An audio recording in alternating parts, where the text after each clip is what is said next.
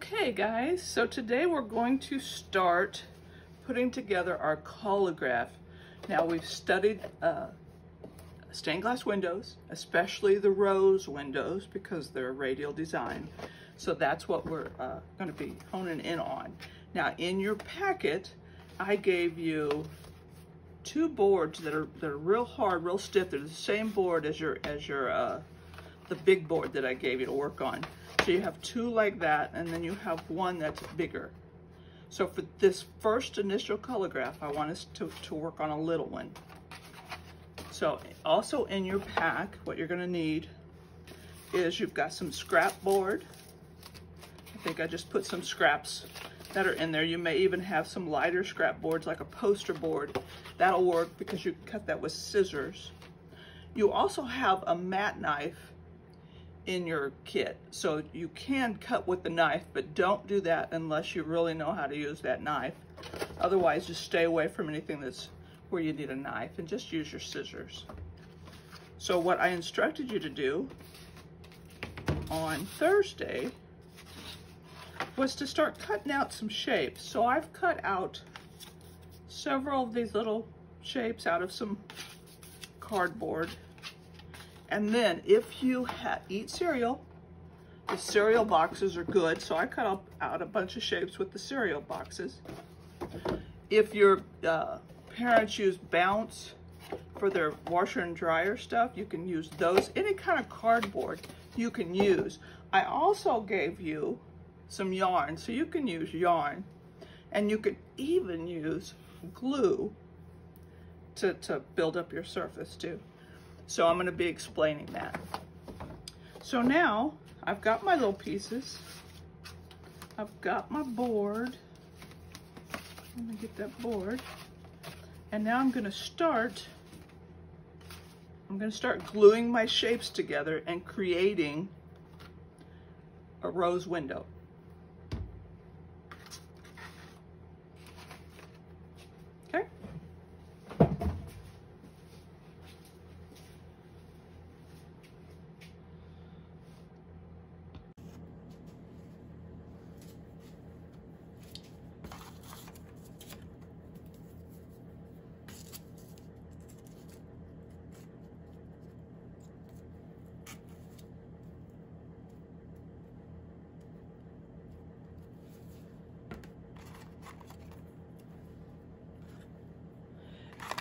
Like to also place the items down first before I actually glue so that you know what you want your design to look like. I'm using the color side of the uh, of the cereal box just so I can see it. We're going to cover it all up with foil, which yes, I put foil in your pack too, so you have foil. I want to lay it out so I can decide exactly how I want it. I'm afraid that might be a little bit too thick compared to everything else. But what I can do is I can double up on these so that they'll be thicker. So I want to build the surface up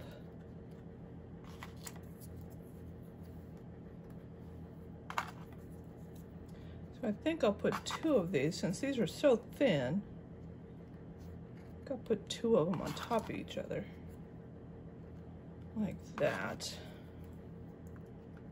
So it's, it's almost, I know, I know we're talking about stained glass windows and we're talking about uh, radial designs, but I, I could kind of see a flower going on too here.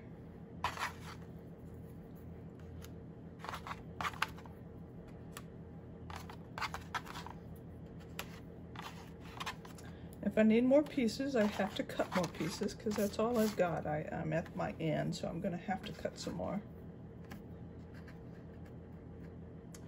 I know I want another circle right here. And I don't know if it'll fit right there. That's kind of off, but I know I'm going to need some more right there. So let me cut these and make these a circle.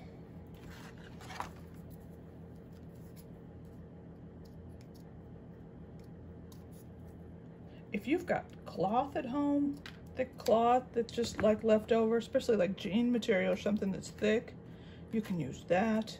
You can use some yarn and you can use glue itself, which I'm gonna do on this design, but first I'm gonna start gluing these down. So I've got two of these.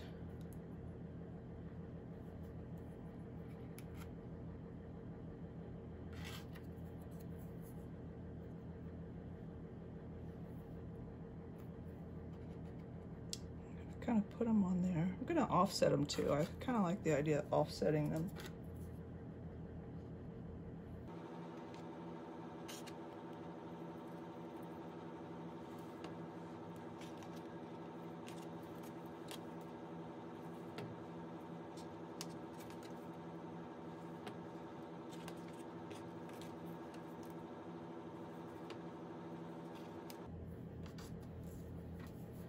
Now a collagraph is sort of like your monoprint, except for you've got uneven surfaces, you've got raised surfaces.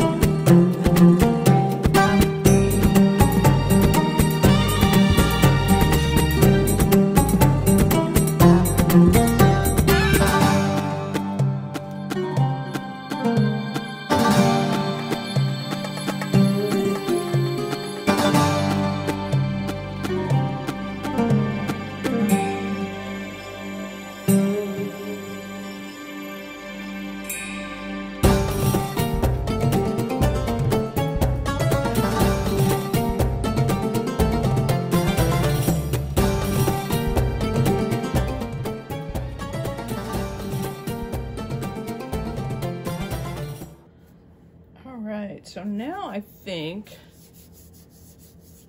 now you can use your yarn, you can use other things around your house that you might find that'll help raise that surface. You can cut different shapes out.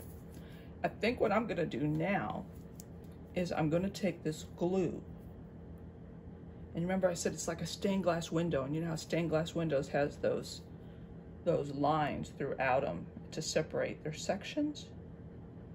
I'm gonna do that with the glue and I'm gonna let it dry just like that.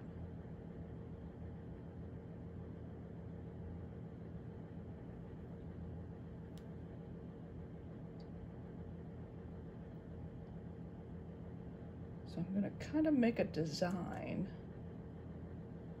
with the glue.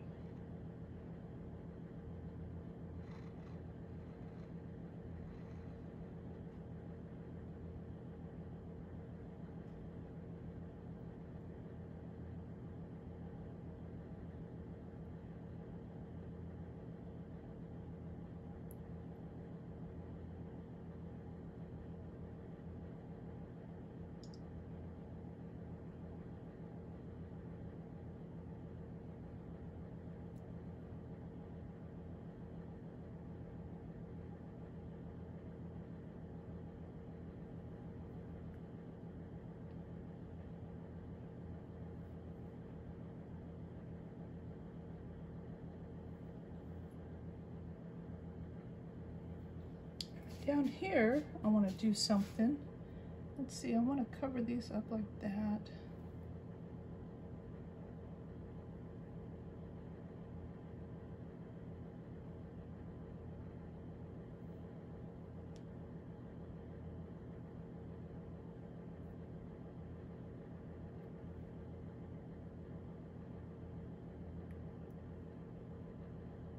Now I'm just gonna make some lines here.